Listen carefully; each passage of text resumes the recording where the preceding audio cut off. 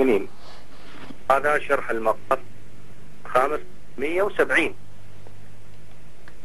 ما اسمع ليقصوا بالله يا أخي.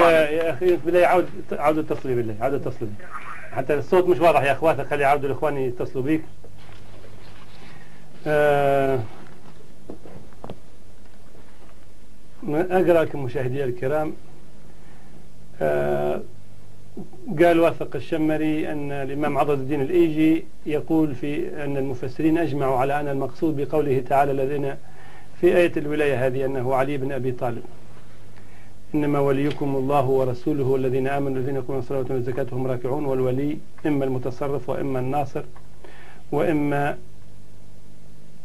آه الناصر تقليلا الاشتراك والناصر غير مراد لعموم النصرة قال تعالى والمؤمنون بعضهم أولياء بعض فهو المتصرف والمتصرف في الأمة هو الإمام وأجمع أئمة التفسير على أن المراد علي.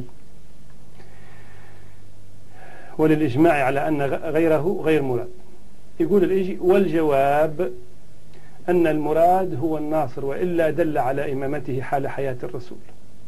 ولأن ما تكرر فيه صيغ الجمع كيف يحمل على الواحد؟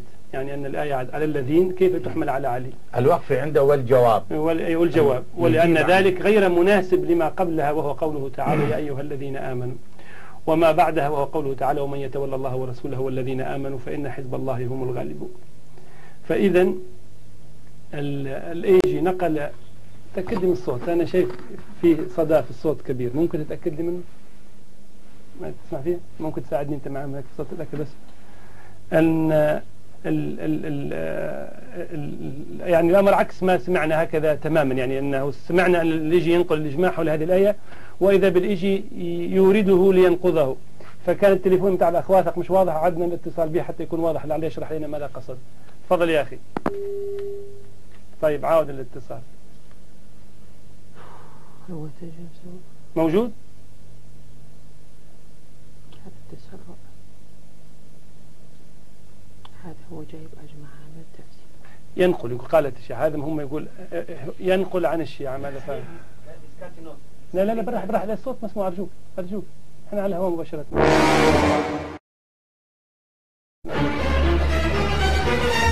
بالهداوة بس كده. فإذا آه نعمل محاولة أخيرة للاستقبال. موجود الأخواتك تفضل. أنا أرى دكتور دكتور.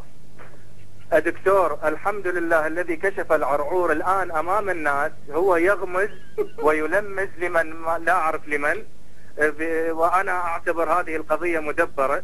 ما في عنده هنا لحظة. أعطيني وايد شوت أعطيني وايد شوت. يا يا لحظة لحظة يا واثق يا واثق اسمعني. يا. واثق لا لا ولا أسمح لك ولا حاجة. إحنا هنا الأخ سعد موجود.